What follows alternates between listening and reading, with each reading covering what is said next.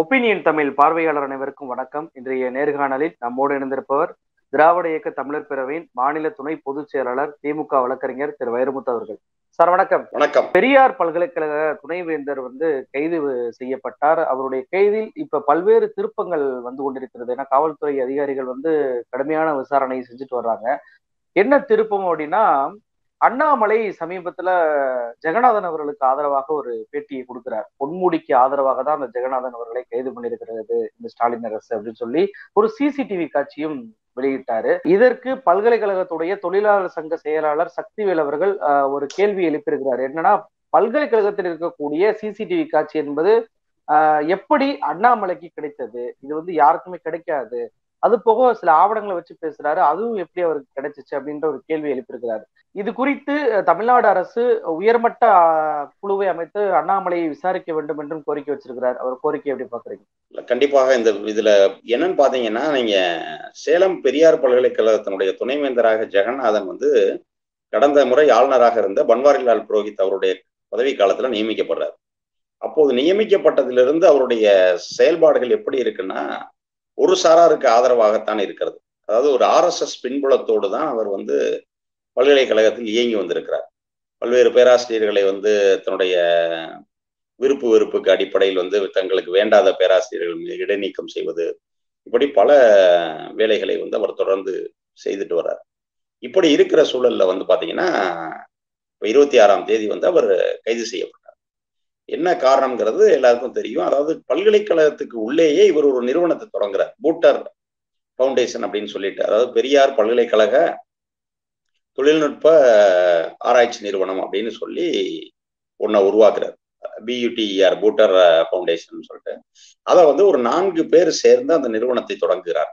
யாரெல்லாம் அப்படின்னு பார்த்தீங்கன்னா துணைவேந்தராக இருக்கக்கூடிய ஜெகநாதன் பதிவாளர் தங்கவேலு கணிப்பொறி துறையினுடைய இணை பேராசிரியர் சதீஷ் அதே போல திருச்சி பாரதிதாசன் பல்கலைக்கழகத்தை சேர்ந்த கல்வியியல் தொழில்நுட்ப பேராசிரியர் ராம் கணேஷ். இவங்க நாலு பேரும் சேர்ந்து ஆளுக்கு பத்து லட்சம் ரூபாய் முதலீட்டில் அந்த பூட்டர் நிறுவனத்தை தொடங்குறாங்க. இந்த நிறுவனம் என்ன செய்யுதுன்னா இந்த நிறுவனம் வந்து வேறு நிறுவனங்களோடு புரிந்துணர்வு ஒப்பந்தங்கள் மேற்கொண்டு அதன் மூலமா பெரியார் பல்கலைக்கழக மாணவர் மாணவியருக்கு வந்து தொழில்நுட்ப பயிற்சிகளை வழங்கும் அப்படின்னு கொண்டு வராது இப்போ இங்க வந்து இப்படி ஒரு நிறுவனத்திற்கு நீடு கிடையாது. அதாவது எப்படின்னா பல்கலைக்கழகம் நேரடியாக கூட நிறுவனங்களோடு ஒப்ப ஒப்பந்தம் புரிந்துணர்வு ஒப்பந்தம் எம்ஓயு செய்து கொள்ளலாம். அதன் மூலமாக நேரடியாக அந்த பயிற்சி நடக்கும். இந்த இடத்துல என்னன்னா இந்த பூட்டர் நிறுவனம் மூலமா தான் ஒருத்தர் உள்ள வர முடியும். இந்த பூட்டர் நிறுவனம் தான் வந்து பல்கலைக்கழக மாணவர்களுக்கு என்ன கிளாஸ் எடுக்கிறது என்னங்கிறத டிசைட் பண்ணுங்கிற மாதிரியான ஒரு இதை கொண்டு வராங்க. அது மட்டும் இல்லாம பல்கலைக்கழக வளாகத்துக்குள்ளேயே இந்த பூட்டர் நிறுவனத்திற்கு ஒரு கட்டிடமும் கட்டப்படும் அலுவலகம் கட்டப்படும். அந்த கட்டப்பட்டு அந்த அலுவலகம் வந்து அவர்களுக்கு வாடகைக்கு விடப்படுகிறது. எவ்வளவு வாடகைன்னு கேட்டீங்கன்னா அதிர்ச்சி ஆயிருவீங்க. இருபத்தேழாயிரம் ஸ்கொயர் ஃபீட் இடம் வருடத்திற்கு ஆயிரம் ரூபா தான் வாடகை. அப்போ இது வருடத்துக்கே ஆயிரம் ரூபாய் தான் வாடகை. அப்போ அந்த பூட்டர் நிறுவனம் வந்து இதன் மூலமா எவ்வளவு வருவாய் இழப்பு இந்த யூனிவர்சிட்டிக்கு ஏற்படுத்துது? அப்போ அந்த யூனிவர்சிட்டி அதாவது நீங்க நீங்கள் தனியாக ஒரு விசி தனியா நிறுவனம் தொடங்குவது தவறு முதல்ல. இதுல உங்களுடைய நிறுவனத்திற்கு குறைந்த வாடகைக்கு இங்க வந்து கொடுக்கறது யாரு? அங்க இருந்து நீங்க தான் கொடுப்பீங்க. இந்த இடத்துல இருந்து நீங்களே கையெழுத்து போடுவீங்க. அப்போ நீங்களே அதன் மூலமா பலனடைஞ்சுக்கிறவீங்கிறப்போ மாதிரியான வேலையைத்தான் அவர் செய்தார். அப்போ இதற்காகத்தான் வந்து புகார் வந்து இப்போ நீங்கள் குறிப்பிட்டீர்களே அந்த பல்கலைக்கழகத்தினுடைய தொழிற்சங்கத்தினுடைய சட்ட ஆலோசகர் இளங்கோ அவர்கள் வந்து ஒரு புகார் கொடுக்குறாரு இது தொடர்பாக. இந்த புகார் வந்து சேலம் கருப்பூர் காவல் நிலையத்தில் வழக்கு பதிவு செய்யப்பட்டு உடனடியாக அவர் கைது செய்யப்படுறார். கைது செய்யப்பட்டால் அன்று இரவே நீதித்துறை நடுவர்மையுடைய வீட்டிலேயே வந்து அவருக்கு ஜாமீன் கொடுக்கப்படும். ஸோ அந்த பிணையோடு அவர் விடுதலை செய்கிறார். போய் உடனே மருத்துவமனையில் இருக்கேங்கிற மாதிரி மருத்துவ சிகிச்சையில் இருப்பதாக சொல்லுகிறார். ஆனால் இந்த மருத்துவ சிகிச்சையில் அவர் இருப்பதாக சொல்லி கொண்டாலும் கூட கோப்புகள்லாம் கையெழுத்திடப்படுது. அவர் அந்த பதவியிலேயே தொடர்ந்து இருக்கிறார். பொதுவாக உங்கள் மீது ஒரு வழக்கு வருதுன்னா இப்ப பிணை கொடுத்தா என்ன சொல்லுவாங்கன்னா சாட்சியை கலைக்க கூடாது நீங்க சாட்சிகளுக்கு அச்சுறுத்தல் ஏற்படுத்தக்கூடாது என்று சொல்லுவார்கள். இப்போ இங்க எல்லா ஆவணங்களும் பல்கலைக்கழகம் தொடர்பான ஆவணங்கள் தான். இப்போ நீங்க துணைவேந்தரா தொடர்ந்து இருந்து கொண்டு இவருடைய வேண்டப்பட்ட ஆட்கள் மூலமாக ஆவணங்களை எடுத்துட்டு வர்றது செய்யறது இது போன்ற வேலையை அவர்கள் செய்யும் காரணத்தால அப்போ சாட்சிகள் வந்து ஆவணங்கள் எல்லாமே திருத்தப்படுவதற்கான வாய்ப்புகள் இருக்கு. அப்போ அரசு என்ன பண்ணுது அப்படின்னா இந்த இடைக்கால பிணையை வந்து ரத்து செய்ய வேண்டும்னு சொல்லி அப்பீலுக்கு போறாங்க. இந்த வழக்கு வந்து ஜனவரி ரெண்டாம் தேதி உயர்நீதிமன்றத்தில் நீதியரசர் தனபால் அவர்களின் கீழ் விசாரணைக்கு வந்தது. அப்போ அவர் தனபால் விசாரணைக்கு அந்த வழக்கை ஏற்றுக்கொண்ட உடனே அரசு சார்பாக வாதிட்ட கூடுதல் குற்றவியல் வழக்கறிஞர் முனியப்பராஜ் வந்து சொல்றாரு இது மாதிரி வந்து குற்றச்சாட்டுக்கெல்லாம் இப்ப நான் சொன்ன இந்த குற்றச்சாட்டு எல்லாத்துக்குமே முகாந்திரம் இருக்கு. ஏன்னா அந்த பூட்டர் நிறுவனத்தினுடைய பதிவிலேயே இவங்கெல்லாம் பங்குதாரர்கள்னு இருக்கு. அப்போ இவர் துணைவேந்தருங்கிறதும் அடி இருக்கு. அப்போ இது வந்து ஒரு ஆதாரத்தோடு இருக்கக்கூடிய குற்றச்சாட்டு. இதுல வந்து நீங்க வந்து நீதிமன்ற காவல்ல தான் அவரை வச்சிருக்கணும். ஆனா உடனடியாக பிணை கொடுத்தது வந்து தவறு அப்படின்னு சொல்றாரு. இதுல இன்னொரு மிக முக்கியமான விஷயம் இந்த இடத்துல தான் அண்ணாமலை பேசுறாரு. என்ன அப்படின்னா இவர்கள் மீது என்னென்ன பிரிவுகளில் வழக்கு தொடரப்பட்டு இருக்கிறது அப்படின்னா இவங்க மேல வந்து பாத்தீங்கன்னா கிட்டத்தட்ட ஒரு எட்டு பிரிவுகளில் வழக்கு தொடரப்பட்டிருக்கிறது ஆபாசமாக பேசுதல் கொலை மிரட்டல் விடுத்தல் கூட்டு சதி போலி ஆவணங்கள் தயாரித்தல் அரசு ஊழியராக இருந்து கொண்டே ஏமாற்றுதல் குற்றம் செய்ய முயற்சி செய்தல் இது போன்ற எட்டு பிரிவு. இதுல மிக முக்கியமான ஒரு பிரிவு என்னன்னா வன்கொடுமை தடுப்பு சட்டம். இது வந்து அந்த பல்கலைக்கழக தொழிலாளர் சங்கத்தை சேர்ந்த இளங்கோவர்களையும் இன்னும் ஒரு சிலரை வந்து இவர் பட்டியலினத்தை சேர்ந்தவர்கள் என்பதால் அவர்களை வந்து அவர்கள் ஜாதியை சொல்லி தரக்குறைவாக பேசியதாகத்தான் அந்த வழக்கு. இப்போ இதுல வந்து நம்ம அரசு தரப்பு மிக முக்கியமாக உச்ச உயர்நீதிமன்ற மேல்முறையீட்டுல குறிப்பிட்டது என்ன அப்படின்னா நீங்க ஒருவரின் மீது பட்டியலினத்தை சார்ந்தவர் பழங்குடியினர் வன்கொடுமை தடுப்பு சட்டத்தின் கீழ் ஒரு வழக்கு வந்ததுன்னா அதை முடிவு செய்யறதுக்குன்னு ஒரு சிறப்பு நீதிமன்றம் இருக்கு. அந்த சிறப்பு நீதிமன்றம் வந்து அந்த கேஸை ஹேண்டில் பண்ணணும். நீங்க அந்த கேஸ் பதிவு பண்ற இடத்துல ஒரு சாதாரண நீதித்துறை நடுவர் மேஜிஸ்ட்ரேட் வந்து அங்கே தன்னுடைய அதிகாரத்தை பயன்படுத்தியது தவறு. அப்போ அவர் வந்து பிணை கொடுத்திருக்க கூடாது அப்படிங்கிற அடிப்படையில் வந்து இந்த பிணையை உடனடியாக ரத்து செய்ய வேண்டும்னு சொல்லி அவர் தன்னுடைய மனுவை தாக்கல் செய்தார். அதற்கு எதிராக துணைவேந்தர் தரப்பு வழக்கறிஞராக வந்த ஏ. நடராஜன் என்பவர் வந்து இது வந்து அடிப்படையில் இது வந்து ஒரு பொய் வழக்கு பழிவாங்கும் நடவடிக்கை அப்படி செஞ்சிருக்காங்க அப்படின்னு தான் சொன்னாரே தவிர இதில் குறிப்பிட்டிருக்கிற எந்த விஷயத்துக்கும் அவர் வந்து மறுப்பாக எதுவும் சொல்ல முடியல. ஏன்னா இது எல்லாமே ஆதாரபூர்வமான விஷயம். அப்போ உடனடியா அடுத்த நீதியரசர் என்ன சொல்லிட்டாருன்னா அப்போ இப்படி ஒரு முக்கியமான வழக்கில் எதற்காக உடனடியாக ஜாமீனில் விடுவிக்கப்பட்டார் அப்படின்னு கேட்டு மேஜிஸ்ட்ரேட் இதுக்கு இது குறித்து ஒரு விரிவான விளக்க அறிக்கையை வந்து அடுத்த விசாரணையில வந்து தாக்கல் செய்ய வேண்டும் அப்படின்னு சொல்லியிருக்காரு. அதே போல இரு தரப்புகளும் தங்களுடைய வாதங்களை வந்து அன்னைக்கு பன்னெண்டாம் தேதி வைக்கணும். அதை வந்து எழுத்துப்பூர்வ மனுவாகவும் கொடுங்க அப்படிங்கிற மாதிரி சொல்லி இப்போ அதற்குடைய அடுத்த கட்ட விசாரணை வந்து பன்னிரெண்டாம் தேதிக்கு வருது. இப்போ இது இப்படி நடந்து கொண்டிருக்கிற சூழல்ல தான் அண்ணாமலை வந்து சொல்றாரு. என்ன சொல்றாருன்னா இந்த வன்கொடுமை தடுப்பு சட்டம் வந்து எப்படி வந்தது? ஏன்னா அவங்க வந்து வீடியோ அதுக்கு தான் ஆதாரமா ஒரு வீடியோ சொல்றாரு. வீடியோல அவர் கிளம்புறாரு. கிளம்பும் போது பார்த்துட்டு போறாங்க. சிரிச்சுட்டு தான் பேசிக்கிட்டு இருக்காங்க. இவர் ஜாதியை சொல்லி குறிப்பிட்டிருந்தால் அவங்க எப்படி சிரிச்சுட்டு போவாங்க என்றெல்லாம் ஒரு வினா எழுப்புகிறார்.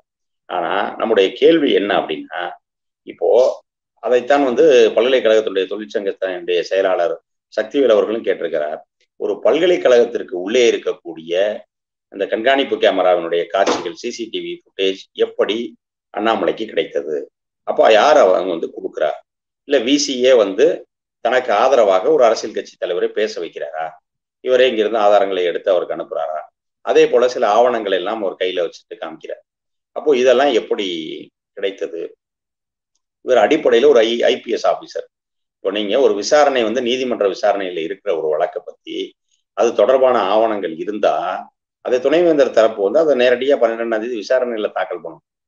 அதை விட்டு விட்டு அவுட் ஆஃப் தி கோர்ட்ல ஒரு பொலிட்டிக்கல் லீடர் ஒருத்தர் அதை வெளியிட்டு பேசுறாருன்னா அப்போ இவர்களுடைய என்ன ஓட்டம் என்ன? இதை வந்து அரசியலாக்கத்தான் அவர்கள் முயற்சிக்கிறாரே தவிர சட்ட ரீதியாக அவர்களுக்கு வந்து ஒரு ஒரு ஆதாரம் இருக்கிறது அவர்கள்ட்ட. அவங்க பக்கம் ஒரு நியாயம் இருக்கிறதுனா அதை நீதிமன்றத்தின் முன் வைக்கணும் அதை விடுத்துட்டு அப்ப இதையெல்லாம் செய்யறவங்க இங்க இருக்கக்கூடிய ரெக்கார்ட்ஸை எடுத்து அண்ணாமலைகிட்ட கொடுக்குறவங்க இந்த ரெக்கார்ட்ஸ் எப்படி மிஸ்ஹேண்டில் பண்ணுவாங்கல்ல? இந்த ரெக்கார்ட்ஸ் அவங்க திருத்த நினைப்பாங்க இல்லை இந்த ரெக்கார்ட்ஸை அழிப்பாங்க? இது எல்லாமே அவர்கள் செய்வதற்கு வாய்ப்பு இருக்கிறது. இதையெல்லாம் விட்டு விட்டு சும்மா என்ன ஒண்ணு பொன்முடிக்கு பழி வாங்குறதுக்கு தான் பண்ணிட்டாங்க. அப்படின்னா இவர் போன அதிமுக ஆட்சி காலத்துல இருந்து இருக்காரு. இப்போ இவருக்கும் திமுக அரசுக்கும் ஆனா எந்த வேறு எந்த வகையோ ஏதோ கிடையாது. இப்போ இவர் வந்து செய்த தவறுக்கு இவர் இன்றைய தினம் தண்டிக்கப்பட்டிருக்கிறார். இன்னும் சொல்ல போனா இப்போ இவர் வந்து நான் முன்னர் குறிப்பிட்டதை போல இவர் ஒரு ஆர்எஸ்எஸ் சார்புள்ள சின்ன நபர்.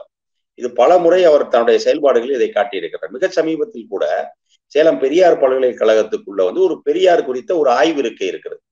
ஒரு ரிசர்ச் ஷேர் அப்படின்னு சொல்லுவாங்க ஆங்கிலத்துல. அந்த ஆய்விருக்கை பெரியார் ஆய்விருக்கையினுடைய இயக்குனர் பொறுப்பு வகிக்கிற இரா சுப்பிரமணியன்கிற ஒரு பேராசிரியர். அவர் வந்து பெரியாரின் போராட்டங்கள்னு ஒரு புத்தகம் எழுதுறார். அந்த புத்தகம் வெளியிடுகிறார். அவரை வந்து உடனே உங்களை ஏன் பதவியிலிருந்து விளக்கக்கூடாதுன்னு கேட்டு நோட்டீஸ் அனுப்புறாரு. இப்போ அவருடைய வேலையே என்ன? பெரியார் ஆய்விருக்கையினுடைய இயக்குனர். அவர் பெரியாரை பத்தி புத்தகம் எழுதாம ஆர்எஸ்எஸ் பத்தியா புத்தகம் எழுதுவாரு. இப்போ உங்களுக்கு வந்து அந்த ஆய்விருக்கை அவர் சம்பந்தப்பட்ட ஆய்விருக்கைன்றனால அவர் எழுதுறாரு. அப்போ உடனே அதுக்காக அவர் மீது நடவடிக்கைகள் எடுக்கப்பட்டார் இப்படி பல முறை வந்து தான் இந்த பின்புலம் உள்ளவர் என்பதை அவர் ஓப்பனாவே காட்டியிருக்கார்.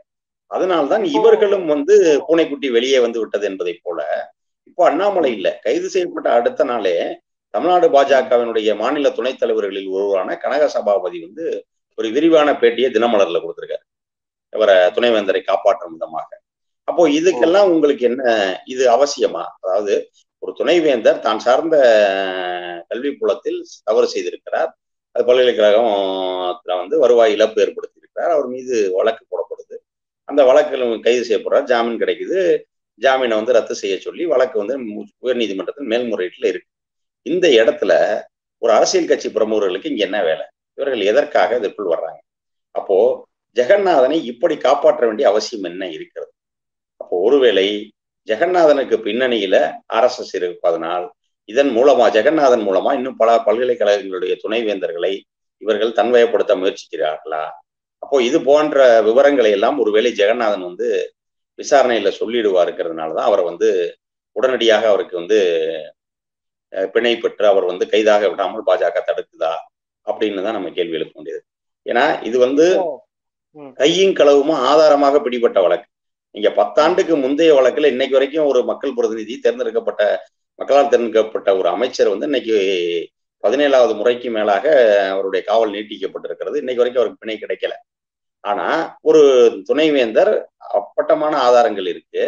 தான் சார்ந்திருக்கிற பல்கலைக்கழகத்துக்கு உள்ளேயே இவர் ஒரு துணை நிறுவனத்தை நடத்துகிறார். அதன் மூலமா வருவாய் ஈட்டுறாரு. இப்ப இதை ஆதாரபூர்வமா சொன்னதுக்கு ஓவர் நைட்ல ஜாமீன் கொடுக்குறாங்கன்னா அப்ப இன்றைக்கு நீதித்துறை எங்கே சென்று கொண்டு இருக்கிறது யாருடைய அழுத்தத்தின் பின்னால் இருக்கின்ற கேள்வி எல்லாம் சாதாரண ஒரு பொதுமக்களுக்கே இன்னைக்கு வருது. ஆக இவர்கள் எதற்காக மீண்டும் மீண்டும் ஜெகநாதனை காப்பாற்ற இந்த முயற்சிக்கிறார்கள்னா கண்டிப்பாக தமிழ்நாட்டினுடைய கல்வி கட்டமைப்பை சிதைத்து இதை காவி கூடாரமாக மாற்றுகிற ஆர்எஸ்னுடைய பாஜகவினுடைய முயற்சியில மிக முக்கிய நபரா ஜெகநாதன் இருக்கிறார். அதனாலதான் ஜெகநாதனை காப்பாற்றுவதற்காக இவர்கள் இதையெல்லாம் செய்கிறார்கள் என்றுதான் என்ன தோன்றுகிறது. செந்தில் பாலாஜி அவர்கள் இன்று வரை பிணைக்காக சுப்ரீம் கோர்ட்டு போனார். மறுபடியும் முதன்மை நீதிமன்றத்திற்கு வந்திருக்கிறார். பொன்முடி வழக்கிலுமே மேல்முறையீடு செய்யப்பட்டிருக்கிறது. பல்வேறு பல ஆண்டுகள் வழக்கையே வந்து விசாரிச்சு விடுதலை செய்த வழக்கை கூட மீண்டும் தோண்டி எடுக்கக்கூடிய சூழ்நிலையில கைது செய்த அன்றே வந்து ஏன் எப்படி விடுதலை செஞ்சாங்க இவரை அப்படின்ற கேள்வி பொதுமக்கள் கிட்ட இருந்துச்சு. இன்னைக்கு அதை உயர்நீதிமன்றமே நோட்டீஸ் அனுப்பி எதற்காக அப்படி பண்ணீங்க அப்படின்ற கேள்வியும் கேட்டிருப்பதையும் உங்கள் மூலமா தெரிந்து கொள்ள முடியுது. இன்னொரு விஷயம் என்ன அப்படின்னா ஆவணங்கள் என்பது இவர் வந்து ஜாமீன்ல வந்துட்டு ஆவணங்களை அளிக்கக்கூடிய வாய்ப்புகள் வந்து இருக்கிறது. அதற்கு உதாரணமே அண்ணாமலைக்கு அந்த ஆவணங்களும் அந்த சிசிடிவி காட்சியும் கிடைத்ததே உதாரணம் எடுத்துக்கலாம் ஏன்னா அது வெளியே போனதாவே ஆவணங்கள் பரிமாறப்படுது அப்படின்றத நம்ம தெரிஞ்சுக்கிற முடியுது. இப்போ இப்படியான பாதுகாக்கப்பட்ட ஆவணங்கள் அதுவும் உயர்நீதிமன்றத்துல வரும் பனிரெண்டாம் தேதி முக்கிய சாட்சியாக இருக்கக்கூடியதே அந்த சிசிடிவி காட்சி தான் அப்படின்னு சொல்லிட்டு அந்த செயலாளர் சக்திவேல் என்பவர் சொல்றாரு.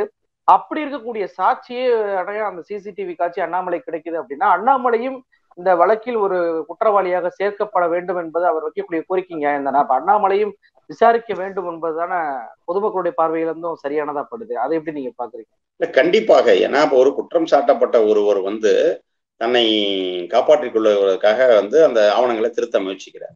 அப்போ அவர்களுக்கு துணை போவதை போலதான் அண்ணாமலை செயல்படுகிறார்.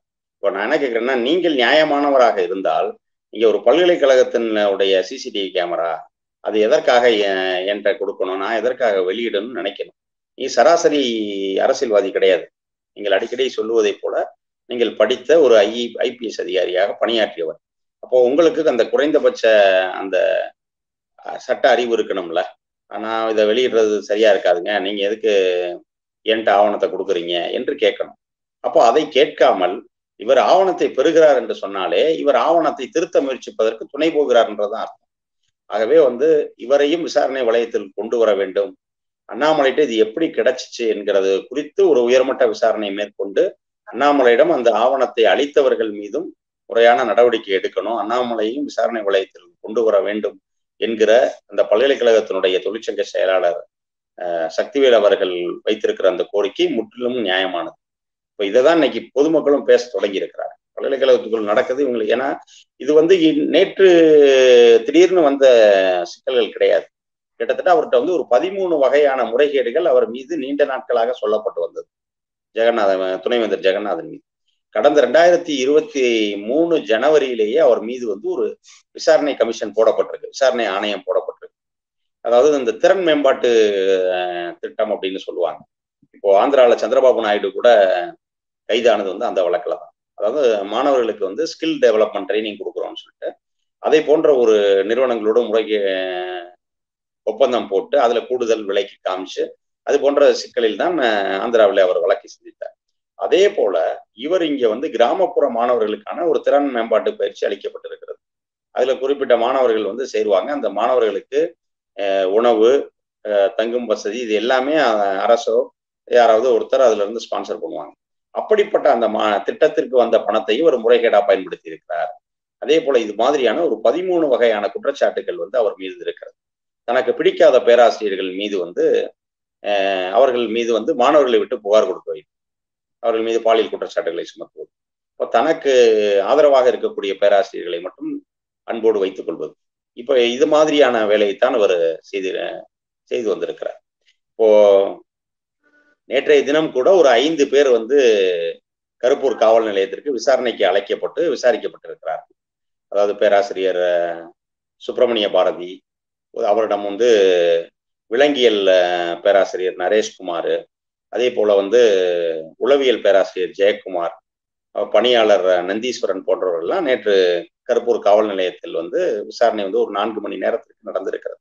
அதுல வந்து எந்த எட்டு நிறுவனங்கள் வந்து அவங்களோட புரிந்துணர்வு ஒப்பந்தம் மேற்கொள்ளதாக தெரியப்பட்டு அடுத்தபடியா அந்த எட்டு நிறுவனங்களுக்கு வந்து அலைப்பானை அனுப்பப்பட்டு அவர்களிடமும் வந்து விசாரணை நடத்த வேண்டும் என்றெல்லாம் அரசு காவல்துறை வந்து நடவடிக்கைகளை எடுத்துக்கொண்டிருக்கிற அந்த சூழல்ல இவங்க வெளியில இருந்து கொண்டு இப்படி பல்கலைக்கழக ஆவணங்களை வெளியிடுவது சிசிடிவி ஃபுட்டேஜை வந்து கொடுப்பது என்று இருந்தால் இது வந்து கண்டிப்பாக வந்து சாட்சியத்தை கலைப்பதற்கு சாட்சியங்களை திருத்துவதற்கான ஒரு முயற்சியாகத்தான் இருக்கும். அதற்கு கண்டிப்பாக வந்து அண்ணாமலை வந்து துணை போகிறார் என்றுதான் நம்ம எடுத்துக்கொள்ளலாம் இதுல இன்னொரு கேள்வியும் கூடுதலா எழுது. என்ன அப்படின்னா பல்கலைக்கழகத்துக்கு வேந்தராக முதலமைச்சர் தான் இருக்கணும்னு சொல்லிட்டு தீர்மானம் போட்டு ஒரு மசோதா அனுப்பணும். அதுக்கு மசோதாவுக்கு இன்னும் ஒப்புதல் கொடுக்கல ஆளுநர். இப்ப வரைக்கும் சட்டப்படி ஆளுநர் தான் வேந்தராக பொறுப்பு வகிக்கிறார். அப்ப இந்த ஆளுநர் ரவி அவர்கள் தனக்கு கீழ் வரக்கூடிய ஒரு துணைவேந்தர் கைது செய்யப்பட்டது குறித்தோ முறைகேடு செய்தது குறித்தோ அவர் தான் முதல் கண்டுபிடித்திருக்க வேண்டும் விசாரணை நடத்திருக்க வேண்டும். ஆனால் அவர் கண்டுபிடிக்கவில்லை தமிழ்நாடு அரசு தான் கண்டுபிடிக்கிறாங்க. இதுவரைக்கும் இந்த கைது குறித்தும் அவர் வாய் திறக்கவே இல்லை.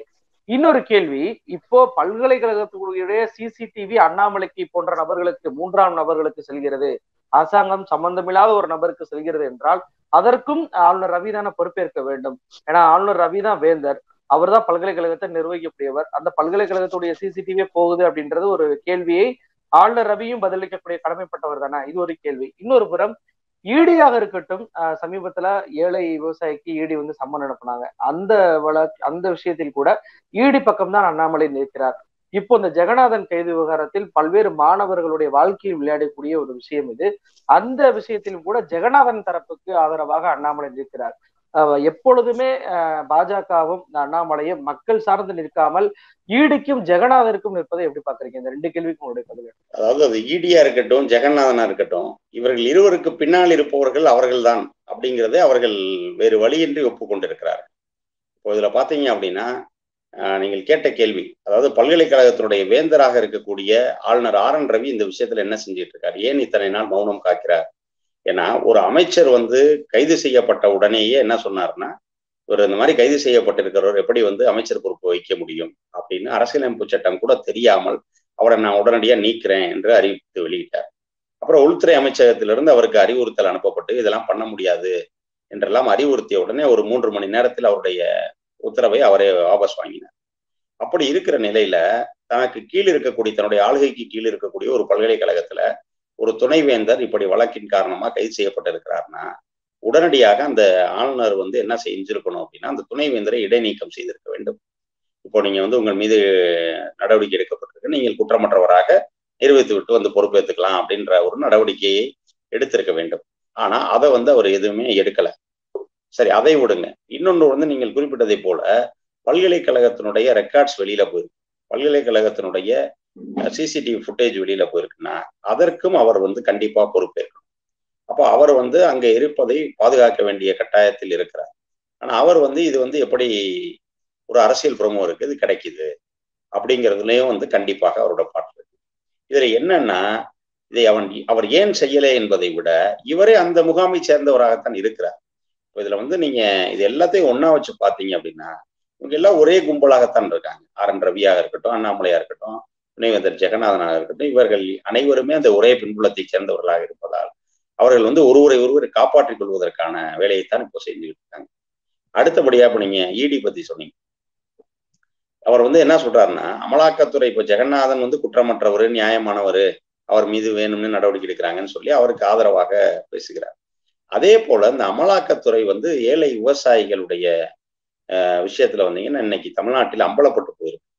நீங்க அங்க அனுப்பின விசாரணை அதுக்குள்ள எல்லாம் போக வேண்டாம். குறைந்தபட்சம் அவர்களுடைய ஜாதியை குறிப்பிட்டு அவங்க வந்து கேள்வி எழுப்பப்பட்டிருக்கிறார் அப்போ அவங்க ஜாதியை குறிப்பிட்டு எழுதி அவங்க விசாரணைக்கு அனுப்ப வேண்டிய அழைப்பானை அனுப்ப வேண்டிய அவசியம் என்ன அப்படிங்கிற கேள்விக்கு அதையும் நியாயப்படுத்துறார். முதல் நம்ம தமிழ்நாடு அரசு காவல்துறையினுடைய முதல் தகவல் அறிக்கையில கூட ஜாதிங்கிற ஒரு களம் இருக்கு அப்படின்னு சொல்லி ஒரு மிகப்பெரிய ஒரு அரிய கண்டுபிடிப்பை சொல்லியிருக்கிறார். யாருக்கும் தெரியாம இருக்காது எல்லாத்துக்கும் தெரியும். ஏன்னா ஒரு சில குற்றங்களுக்கு ஜாதி தேவை. இப்ப நம்ம இவர் ஜெகநாதன் மீது குறிப்பிட்டிருக்கக்கூடிய வழக்கு பிரிவுகளில் ஒன்று வந்து பட்டியலின பழங்குடியினர் மீதான வன்கொடுமை தடுப்பு சட்டம். அப்போ அந்த சட்டத்துல நீங்க பழங்குடி அல்லாத நபர் பட்டியலினத்தை சேராத பழங்குடியினராக இல்லாத ஒரு நபர் வந்து அவர்களை ஜாதியை சொல்லி திட்டினாதான் அது குற்றம். அந்த ஜாதியை சேர்ந்தவரே மீண்டும் சொல்லிக் கொள்வது குற்றம் அல்ல. அப்போ அந்த இடத்துல அவர் அந்த எந்த ஜாதியை சேர்ந்தவர்னு பார்க்கணும். அப்போ அந்த வழக்கில் குற்றத்தை நிரூபிக்க ஒருவருடைய ஜாதி தேவை. அப்போ நான் அந்த வழக்குக்குன்னு தனியா ஒரு எஃப்ஐஆர் ஃபார்மட் ரெடி பண்ண முடியுமா? ஒரு சேம் ஃபார்மட் இருக்கு. அதுல என்னென்ன காலம் அப்ளிகபிளோ அதை யூஸ் பண்ணிட்டு போறாங்க. இது வந்து ஒரு நடைமுறையான விஷயம். அப்போ இடி செய்ததை நியாயப்படுத்துவதற்காக இதையெல்லாம் வந்து சொல்றாரு. இடி வந்து அவங்க ஜாதியை கேட்கட்டும் தவறு இல்லை அதாவது நீங்க அதை குறிப்பிட்டு அழைப்பானை அனுப்புவதுதான் சிக்கல். அந்த அழைப்பானையில் அதை குறிப்பிட்டிருந்தாலே வந்து நம்ம என்ன சொல்றோம்? இந்திய அரசியலமைப்பு சட்டம் வந்து என்ன சொல்லுதுன்னா தீண்டாமை ஒழிக்கப்பட்டு விட்டதுன்னு சொல்லுது. அப்போ தீண்டாமை ஒழிக்கப்பட்டு விட்டதுன்னா நீங்க எதற்காக ஒரு தாழ்த்தப்பட்டவரே அந்த ஜாதி சொல்லி கேட்குறீங்க? அப்படிங்கிறது ஒரு நியாயமான கேள்வி. ஆனால் அது அழைப்பானைக்கு வெளியிலே போட்டாலே. ஆனா அழைப்பானைக்கு உள்ளே போட்டிருந்தா. ஆனா அழைப்பானைக்கு வெளியிலேயே அவங்க ஜாதியை குறிப்பிடுறீங்க. அப்போ இது எதை காட்டுகிறது அப்படின்னா இப்ப நான் சொன்னேன் பழங்குடியினர் பட்டியலினத்தை சேர்ந்த ஒரு வன்கொடுமை தடுப்பு சட்டத்துல இந்த ஜாதியை சாராத ஒரு நபர் இன்னொரு அவங்களோட ஜாதியை சொன்னா அது தவறுன்னு சொல்றோம். அப்போ அமலாக்கத்துறையில இருந்து அதை அனுப்பியிருக்காங்கன்னா அவங்க இந்த சட்டத்தின் மீது இந்த சட்டத்தின் கீழ் தண்டிக்கப்பட வேண்டிய குற்றவாளிகள்.